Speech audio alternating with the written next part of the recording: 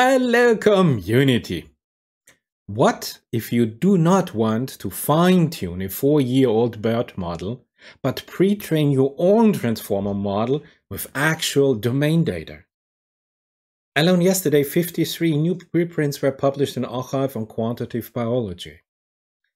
You're working in biotech, in pharma, in molecular bio, biochemistry, and think you deserve your own highly domain-specific neural information retrieval system?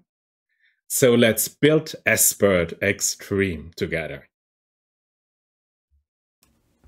Hello community!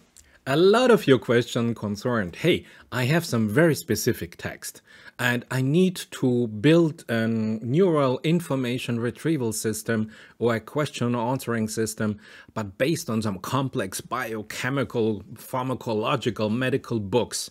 How can I alter the systems that we use like BERT or SBERT? What I have to do with the tokenizers? How can I have sentences with a complex wording structure that is not picked up by a default uh, BERT system, let's say?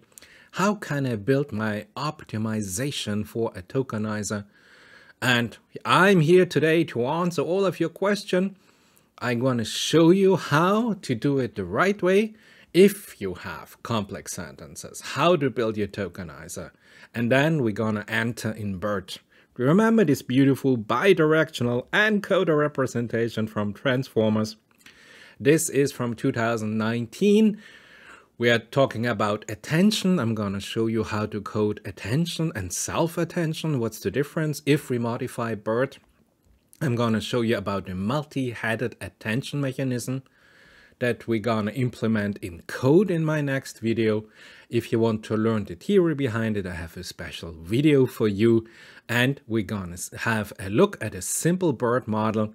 But if you want to have the information for transformers on text, video, and audio, also there's a video for you to help you. So, great if you now want really to optimize your BERT or SBERT system as a whole, you understand that first we have to start from the beginning. We have to have a tokenizer. We have to train the tokenizer on our specific text.